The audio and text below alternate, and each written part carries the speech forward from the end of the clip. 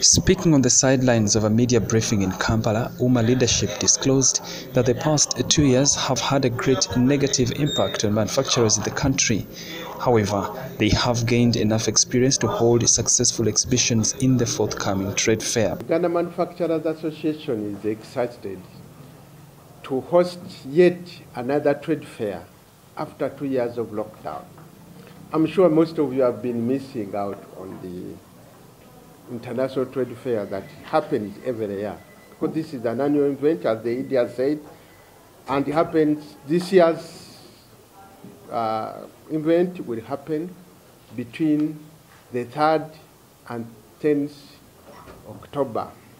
We are expecting that a hundred of these are going to come from our international partners, and I can tell you that so far we've confirmed five country pavilions that are going to be here. The Danish are going to be here, the Italians, the Indians, the people from the UAE, among others, will have dedicated pavilions where the exhibitors will showcase what comes from those countries. And we're even moving a step further and incorporating country days, where each of these pavilions gets a chance to showcase the culture from their countries, the food from their countries, the music, and other related aspects. This time round, exhibitors will also be given a chance to exhibit virtually. Also, the trade fair will include sensitization of manufacturers about the benefits of the African Continental Free Trade Area. What are the objectives? One is, like the chairman said, we need to spotlight local manufacturing. I think we can all agree that local manufacturing has grown by leaps and bounds, and you can only see this when you go to the supermarkets the shelf space is largely dominated by products made here, which is a big positive for us. And we want to showcase where these, uh, where these are.